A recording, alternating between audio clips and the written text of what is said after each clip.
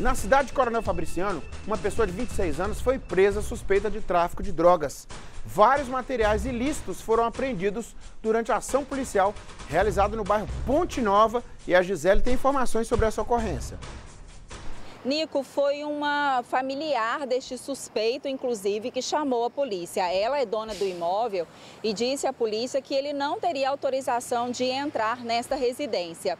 Chegando lá, a polícia conversou com essa mulher e aí o suspeito saiu de dentro do imóvel. A polícia sentiu ali, percebeu uma suspeita, né, porque ele demonstrou um certo nervosismo e fez a abordagem nele. No bolso da bermuda dele tinha uma bucha de maconha e a polícia resolveu entrar então neste imóvel. E olha, Nico, a PM apreendeu no local duas barras de maconha, 24 tabletes do mesmo entorpecente, 18 pinos de cocaína, balança de precisão, celulares, o suspeito acabou confessando ser o proprietário de todo este material e disse que adquiriu os entorpecentes por R$ 1.600.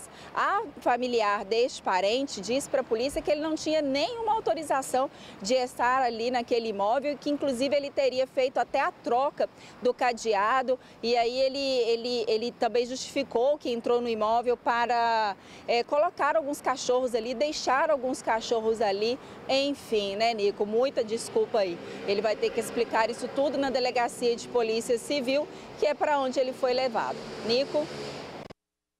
É o lugar certo para se explicar, né, Gisele? Aí chega lá, coloca tudo no papel, aí transforma no inquérito, grampeia e manda lá para a justiça. Não é negócio de grampear hoje, não. Manda tudo eletrônico também, se precisar, né?